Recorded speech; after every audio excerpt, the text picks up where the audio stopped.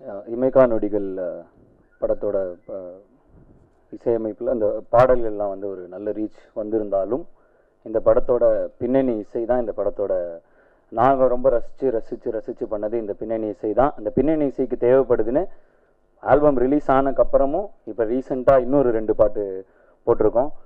So Ajay bro கேட்டார் இன்னும் ரெண்டு பாட்டு இது பிரச்சனை இல்லை நீங்கள் ஜென்ரலாக இந்த மியூசிக் டைரக்டர்ஸ்லாம் பாட்டு தண்ணி ஆர்ஆர் தண்ணி அந்த மாதிரிலாம் ஒரு ப்ராப்ளம் இல்லை அப்படிங்கிறப்ப அது ஒரு ஒன்றரை நிமிஷம் தான் வந்தால் கூட ஒரு நிமி ஒரு பாட்டு வந்து மொத்தமே நாற்பது செகண்ட் தான் வருது. அது புதுசாக ஒரு பாட்டே போட்டோம். அப்புறம் ஏற்கனவே காதல் ஒரு ஆகாயம் பாட்டை வந்து இல்லை ப்ரோ இது படத்துக்கு வந்து இது வந்து பாட்டாக வச்சா வந்து எனக்கு பெரிய ப்ளஸ் தான். ஆனால் படமாக வந்து இதை இந்த பாட்டு கம்மியாக இருந்தாலும் தப்பு இல்லை.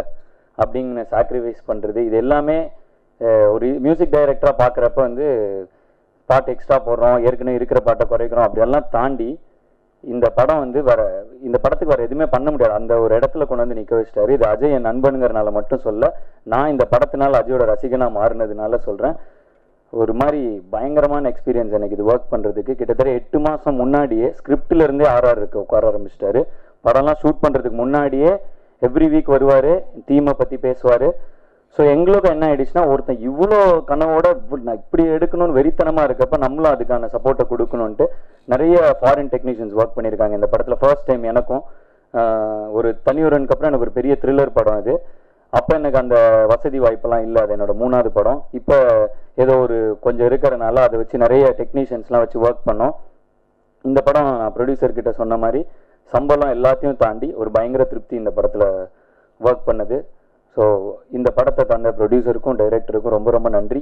இந்த படத்தை பற்றி ஷார்ட்டாக இதில் என்ன ப்ளஸ் அப்படின்னு சொல்லணும்னா இந்த படத்தோட மிகப்பெரிய தூண் அப்படின்னு சொன்னால் ஆக்ஷன் அண்ட் கேமரா ஒரு பயங்கரமான இந்த படம் உங்களுக்கு குவாலிட்டியாக ஒருவேளை ட்ரெய்லர் இதெல்லாம் தெரிஞ்சுதுன்னா அதுக்கு மிகப்பெரிய காரணம் வந்து ஆக்ஷனும் கேமராவும் மட்டும்தான்.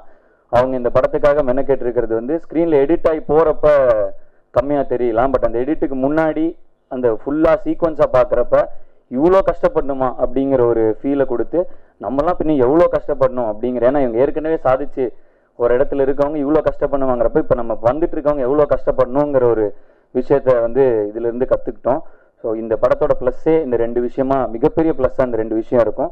அதை தாண்டி போட்டி போட்டு நடிச்சிருக்காங்க. அஹ் ராஷிகானா ரொம்ப அழகாக இருக்காங்க படத்தில். நேர்லையும் தான்.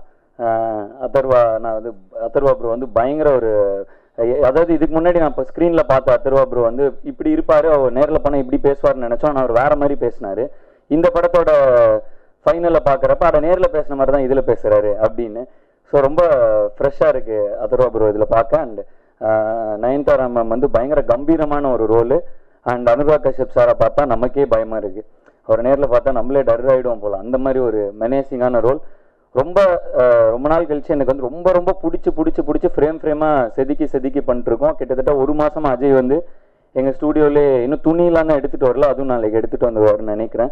ஸோ இங்கேயே தங்கிட்டு இருக்காரு கிட்டத்தட்ட ஸ்டூடியோவிலே ரொம்ப கஷ்டப்பட்டு இந்த படத்துக்காக ரொம்ப மென்னக்கெட்டு ஒர்க் பண்ணியிருக்காரு இந்த படம் யாருக்காக ஓடுதோ இல்லையோ கண்டிப்பாக வந்து டைரக்டருக்காகவும் ப்ரொடியூசருக்காகவும் ஓடணும். ஏன்னா இந்த படத்துக்கு இவ்வளோ செலவு பண்ணலாம் இவ்வளோ செலவு பண்ணலான்றதையும் தாண்டி இதுக்கு பயங்கரமாக செலவு பண்ணி இது ப்ராப்பராக ஒரு நம்ம நினச்சபடி வந்துடணும்னு ரொம்ப கஷ்டப்பட்டிருக்காங்க ப்ரொடியூசர்ஸ் ஒரு கெப்பாசிட்டின்னு ஒன்று இருக்கும். அதையெல்லாம் தாண்டி செலவு பண்ணிட்டு பயங்கர ஒரு என்னென்னா கேட்குறப்பெல்லாம் இது ஒன்று தான் சொல்கிறாங்க இல்லை இல்லை ஆடியன்ஸ் கண்டிப்பாக இது வேறு லெவலில் வரும் அப்படின்னு. அந்த நம்பிக்கை வந்து இந்த படம் ஓடிச்சுன்னா அவங்களுக்காவது ஓடணும் அப்படின்னு வேண்டிக்கிறேன். அதை தாண்டி அஜயோட அருமையான கதைக்கு உயிரோட்டம் கொடுத்துள்ள டயலாக்ஸ் ரொம்ப ஒவ்வொரு ஃப்ரேமில் வந்து அப்படியே டயலாக் செதுக்கி வச்ச மாதிரி இருக்குது ஸோ ஒரு பியூட்டிஃபுல்லான எக்ஸ்பீரியன்ஸ் இந்த படத்தில் ஒர்க் பண்ணது. படம் கொஞ்சம் பெருசாக ரெண்டு ரெண்டு மணி நேரம் ஐம்பது நிமிஷம் பெருசாக தான் இருக்கும். ஆனால் தேட்டரில் போய் பார்க்குறப்ப கண்டிப்பாக அது இருக்காது. ஏன்னா ஆர்ஆருக்கு எங்களுக்கு ஒர்க்குக்கு வந்தப்ப ரீல் ரீலாக பார்க்குறப்ப ரொம்ப பெரிய படமாக இருக்கும் போல் அப்படின்னு நினச்சோம். எல்லாம் இப்போ முடிச்சிட்டோம். முடிச்சு பார்க்குறப்ப அவ்வளோ எங்கேஜிங்காக இருக்குது படம்.